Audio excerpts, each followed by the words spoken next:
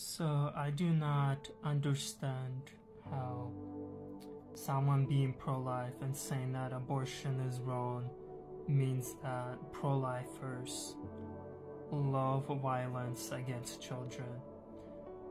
If pro-lifers loved violence against children, they would love abortion.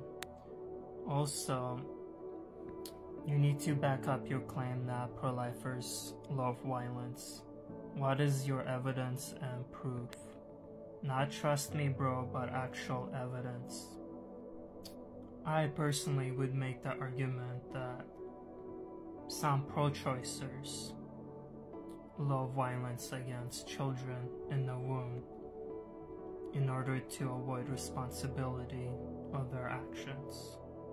In fact, I've had many pro-choicers say that they love abortion and they will do it in my name and so on.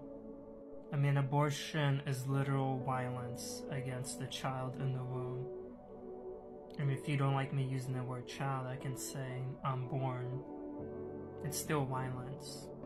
You ended a life of a human being at an early stage of a development.